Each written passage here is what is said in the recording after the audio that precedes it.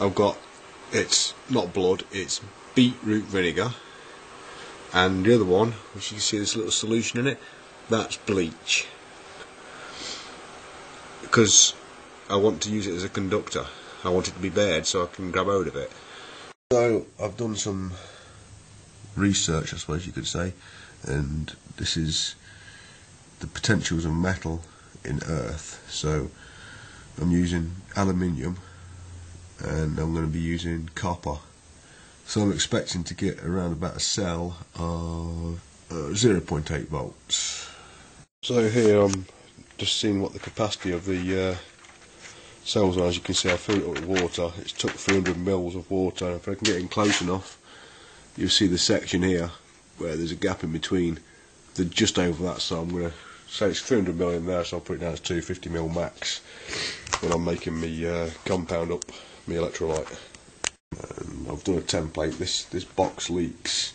Test here with the box with the water in to make sure that one doesn't leak. This box leaks. So I've started with a negative here with the anode. And I've gone all the way down doing that until we come to the end here. And then I've got two ways of bridging it. I'm going to bridge it across here with the blue.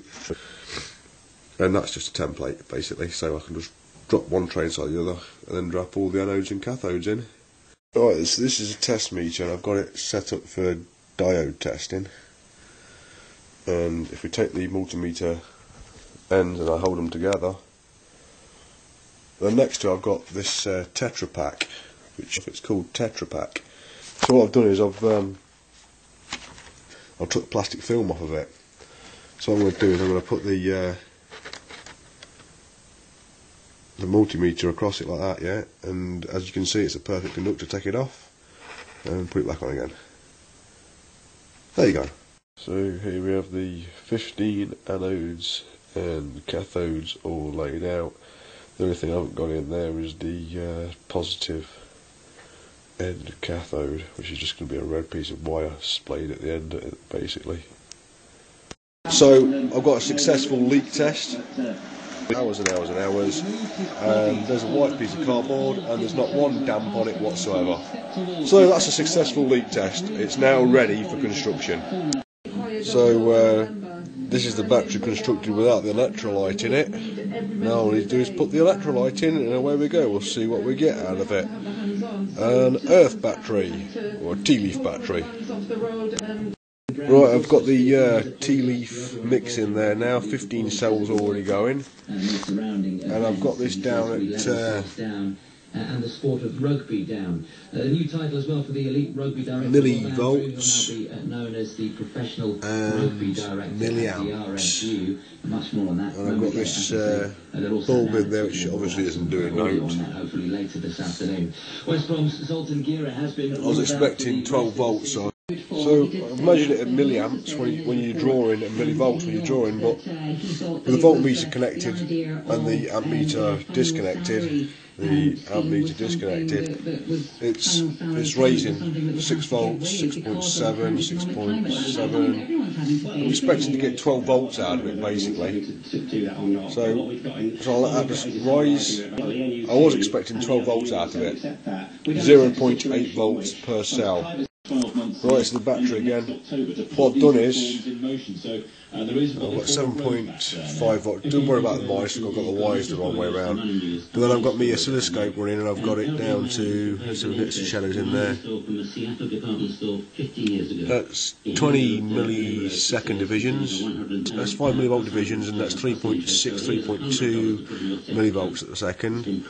Let's bring the uh, been similarly afflicted by some. Oh, I've got that up to 10 milliseconds now. I'm sure you've never done anything like that. Uh, That's 5 milliseconds. You're hardly old enough to have any sense at all. That's very kind of you to say, sir. That's 2 milliseconds. Kathleen. Hello, hi. 1 millisecond. 50 nanoseconds. 20 nanoseconds, 10 nanoseconds, 5 nanoseconds, 2 nanoseconds, 1 nanosecond, 0.5 nanoseconds, 0.2 nanoseconds. That's as far as my it's going to go. Going to put it into a uh, auto mode, get it back up there.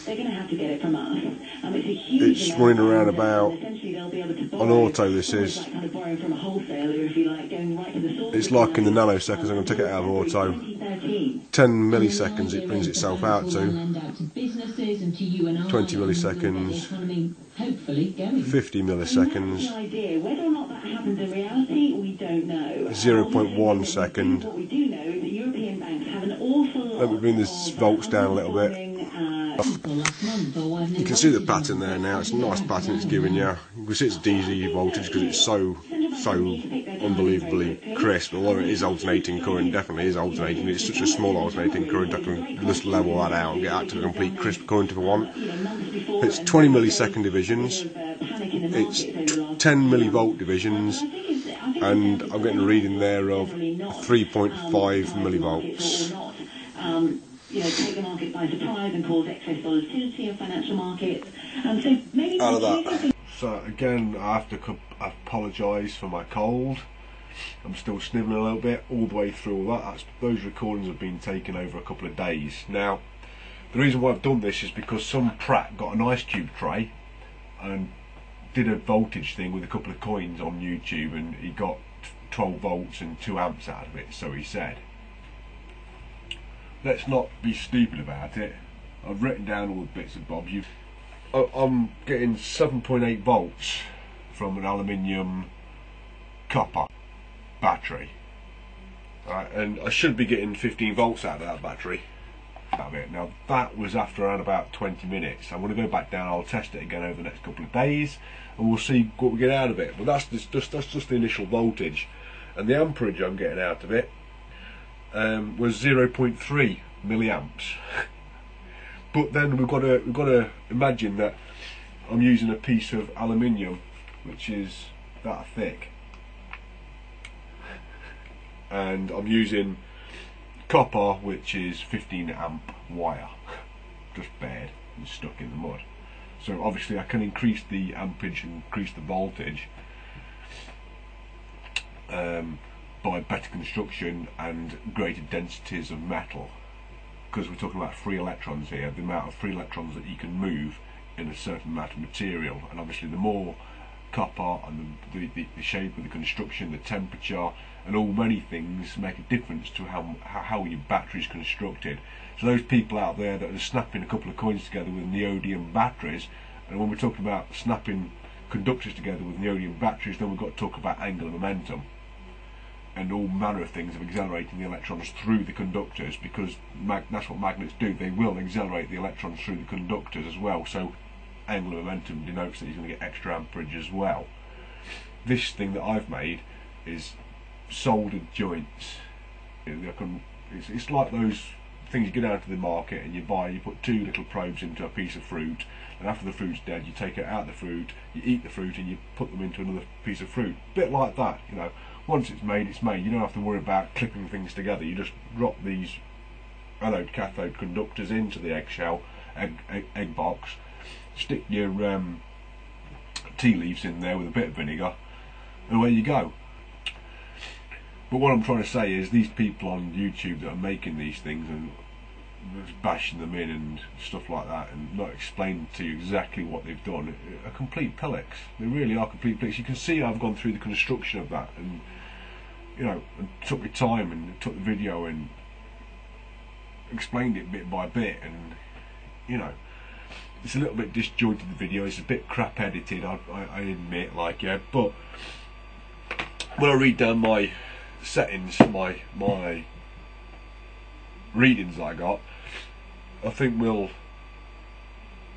determine what kind of power and what and how much metal is actually touching the uh, electrolyte so I've got a um, blah blah blah blah blah blah if you see what I'm saying. I've got 7.48 volts as an average. DC this is a 7.48 volts DC under load um, and the load was a 3.3 ohm circuit including a bulb when I put 3.3 ohms of resistance into that battery, which was producing 7.48 volts, it dropped down to 1.1 millivolt and 0.3 milliamp hours. Zap! Now, if you use the equation, what are virgins, virgin are rare, and take the first letters of each one of those words that I've just said and do a little triangle put what are virgins, virgins are rare in two little pyramid triangle kind of things. Um, w stands for watts, A stands for amperage, V stands for voltage, and R stands for resistance. So if you use that little equation what I've just give you there, then you'll be able to work out from those three calculations I've just told you exactly how much metal is contacted, how many electrons are passing through that circuit, at what speed they're passing through, and how much power they're delivering. And then you'll be able to upscale what you've just seen in my video to exactly how many volts you want, how many amps you want. So that's earth batteries. That's how to build an earth battery. They work. We used to use them for telegraph poles, uh, telegraphs. And we used to be able to send messages from India to England using earth batteries. Still use them today. I don't know why we don't use them, but they should be still in use today. That's earth batteries. The Stenge style.